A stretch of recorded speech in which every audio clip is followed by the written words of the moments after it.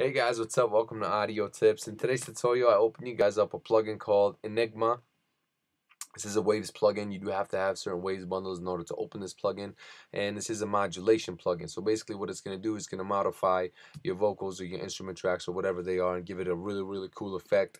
Um, this one does not have presets, so you do have to play around with it. You got your notches buttons. You got how much feedback you want, decay time, delay, density. So that, that'll kind of put like a nice reverb on it and uh, what kind of form of the of a waveform you want it. This will this will also alter the way your your uh, your modulation effect is going to sound. You also have the graph here to show you kind of what's going on and kind of how the how the how the effects working. How slow you want it, how fast you want it.